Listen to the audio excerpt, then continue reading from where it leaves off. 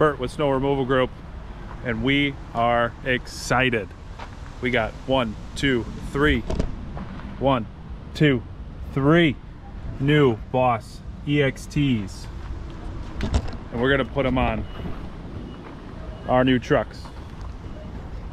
So we got the three blades and all the hardware that goes with them.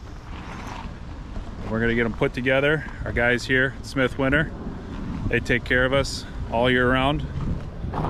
So we're gonna put these bad boys to work. We're so excited. Winter's coming. Here we go, baby.